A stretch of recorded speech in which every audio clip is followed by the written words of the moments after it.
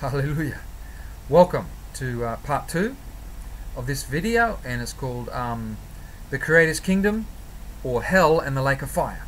And you can read along, go to andrewshreeve.org, click on partner letters, go to February 2014, and you can read this, um, read along with this teaching. Okay. We're up to the, the, the subtitle called Divine Incarnation. As the seed of Adam's descendants, we're all tainted with sin. That's that's you and me. We were tainted with sin. We're the seed of Adam, right? To bring a holy man into the earth, a woman needed to be impregnated by the holy seed of the Holy Spirit. In other words, in other words, you couldn't put um, a, seed of Adam into a woman because that that ch- child that was born would be sinful also. So there needed to be a divine incarnation. There needed to be a God seed into the woman. Thus, the Holy Spirit impregnated into the virgin woman Mary the holy divine seed. And as a result, Jesus of Nazareth was born. Okay. Matthew 1:20. But while he thought on these things, behold, the angel of the Lord appeared unto him in a dream, saying, Joseph, thou son of David, fear not to take unto thee Mary thy wife, for that which is conceived in her is of the Holy Ghost. So Jesus was born approximately 2014 years ago in Bethlehem in Israel. We are living in, in the year AD 2014. AD 1 would be the year of Jesus' conception and birth. They say, historians say, plus or minus six years. Okay, so basically, our calendar is based on the birth of Jesus Christ. That tells you something, doesn't it? Jesus is the creator, God, living in the body of a man. That's who Jesus is. The creator living in the body of a man. We can see this from Scripture. John 1 1 In the beginning was the Word, the Word was with God, the Word was God, or the Word was the Creator. It says, uh, all things, verse 3, all things were made by him. Okay, the Word. So the Word is the Creator. And then verse 14, and the Word or the Creator was made flesh and dwelt among us. So that's what the gospel is saying, that the Creator was made flesh and dwelt among us. Okay? It shouldn't be that abnormal. I mean, we're created in His image, so we're not unlike the Creator. Okay? This was a loving action on God's part.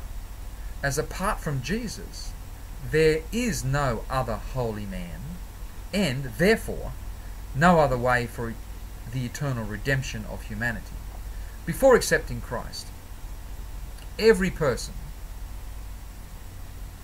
who has sinned is condemned to hell and ultimately the lake of fire because they're unholy and God is holy. They can't, have to be separated. And are outside of the Creator's holy kingdom with no way in, except through being cleansed through faith in the holy blood of Jesus Christ. So basically, every human being, before they're born again, is outside of the Creator's kingdom. They've got no way in, they can't get in. You know, God wants them in, but they, they, they got to get their sin cleansed before they can get in. And so we can see some scripture references. John 3.18 says, he that believeth on him, that's Jesus, is not condemned, but he that believeth not is condemned already. Is condemned already. They're already in that state. Why? Because they've not believed on the name of the only begotten Son of God. So the only way that a person can be uh, not condemned is to believe on Jesus Christ. Second Thessalonians, verse chapter one, verse eight to nine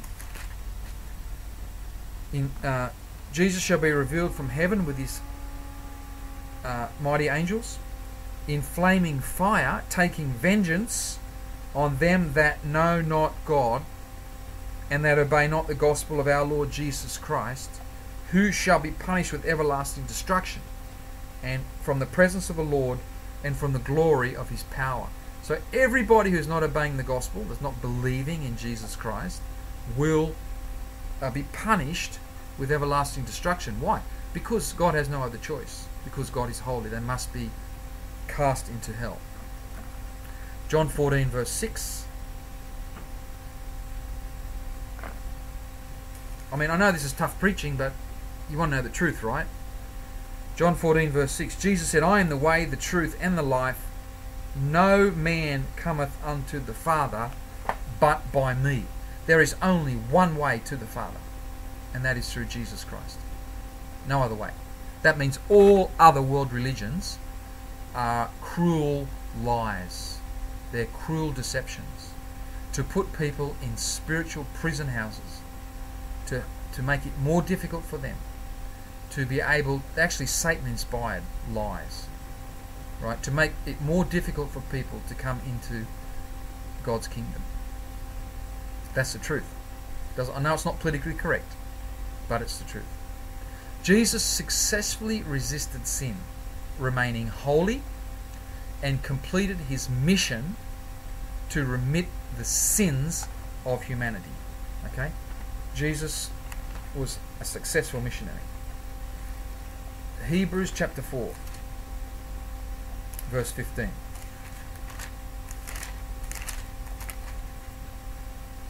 For we have not a high priest who cannot be touched with the feeling of our infirmities, but was in all points tempted like as we are, yet without sin. Hallelujah. He didn't sin. Praise the Lord. Jesus died on the cross at Calvary, was buried, and his soul went to hell as he bore the punishment for all the sins of humanity for all time, past, present, and future. Hebrews 10:14. For by one offering, that's Jesus, he has perfected forever them that are sanctified. Hallelujah. Perfected us forever by that one offering. There's no need for another offering. Right? You don't have to keep doing a, an offering or the mass every week. No. That's a remembrance, not an actual uh, reality. That's the, the, the communion or the mass, the communion is a remembrance of what Jesus did. It's not a reenactment of what Jesus did. It's not the literal body and blood of the Lord. It's a it represents the body and blood of the Lord. Okay? One offering forever. The one offering's been done, it's been completed. We remember that, what he did. 1 John 2, verse 2. And he is a propitiation for our sins. He bore the wrath of God that we could be justified through faith. And not for ours only, but also for the sins of the whole world. Okay, that's what Jesus did. He bore the sin of the whole world. After three days, once the judgment for the sins of humanity was completed, the Father raised Jesus from the dead. Jesus successfully remitted the sins of humanity, and as the Son of Man, broke the power of sin death, and the devil over the human race. Hallelujah. He, is our champion. Jesus is our champion. Hebrews 2:14. For as much then as the children are partakers of flesh and blood, he also likewise took part of the same. God, Jesus, took part of flesh and blood, that he that through death, through the work of the cross, he might destroy him that had the power of death, that is the devil in other words, he zeroed the devil, he took away the devil's power, theoretically, from humans. The devil still has power now, but if you're in Christ and in God's kingdom, the devil has no power over you because our spirit has been raised out of the power of the devil. Colossians 2:15 And having spoiled principalities and powers or zeroed principalities and powers he made a show of them openly triumphing over them in it when he rose from the dead through the cross he triumphed over the devils. Hallelujah. We have victory over the evil spirits that held us captive. Through Adam, we became captive of the devil. Jesus freed us from that captivity. Romans 6:11 Likewise reckon ye also yourselves to be dead indeed unto sin, but alive unto God through Jesus Christ our Lord. Our spirit has been separated from sin, and we are now, our spirit alive unto God through Jesus Christ our Lord. Hallelujah. Human responsibility. The Creator requires each individual human to appropriate what Jesus has done with regards to the cleansing of their sins so that they can enter into his pure and holy eternal kingdom. The Creator gives humans free choice as to whether they want to enter his kingdom or not. To enter the Creator's kingdom, the Creator demands that humans come into agreement with him in their mind, will, and heart. Okay? This is important. It's not ignorance not ignorance will not bring you into the kingdom of God. Ignorance does not equal salvation. People need to be educated to know that they need to come into unity with what God has done. Hebrews 11:6 But without faith it is impossible to please him for he that cometh to God must believe that he is and that he is the rewarder of them that diligently seek him. Okay? Without faith you cannot please God. You cannot enter God's kingdom without faith. Faith is demanded by God. Hebrews uh, sorry, Romans 5:1 Therefore being justified by faith we have peace with God through our Lord Jesus Christ. Faith is specific.